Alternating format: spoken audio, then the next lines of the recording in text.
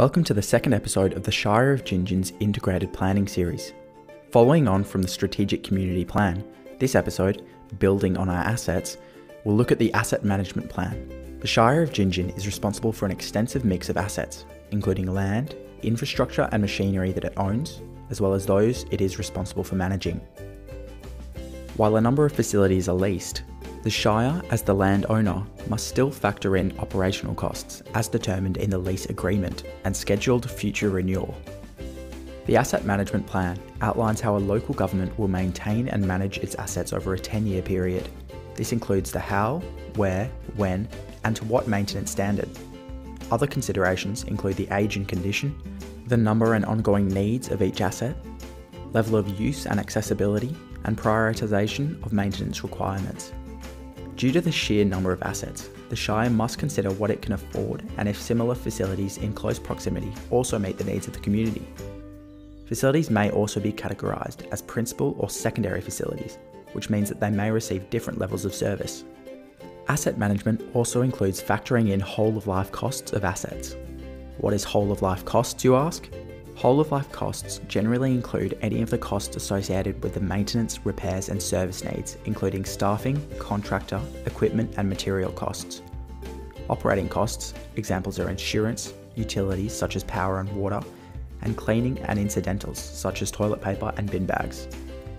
As these assets already exist and are included in the asset management plan, these costs are non discretionary expenditure due to the ongoing upkeep of the asset. The asset management plan reviews an asset's condition and also identifies the end of life of the asset. Discretionary expenditure, on the other hand, is costs associated with wants or renewals, including upgrades, expansions, and new assets. Whole of life costs must be considered as part of any new capital project, as these operating costs continue for the life of the asset and will affect the Shire's financial capacity. Whole of life costs can also include annual loan and interest payments for projects that require additional funding.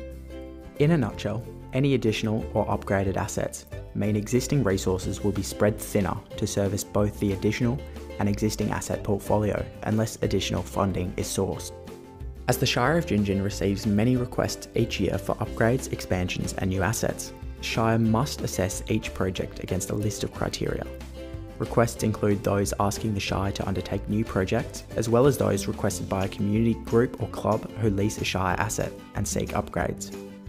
Even if the proposed project is not seeking Shire funding to implement, operational costs such as insurance increases, utilities, and staffing requirements need to be included in asset and long term financial planning.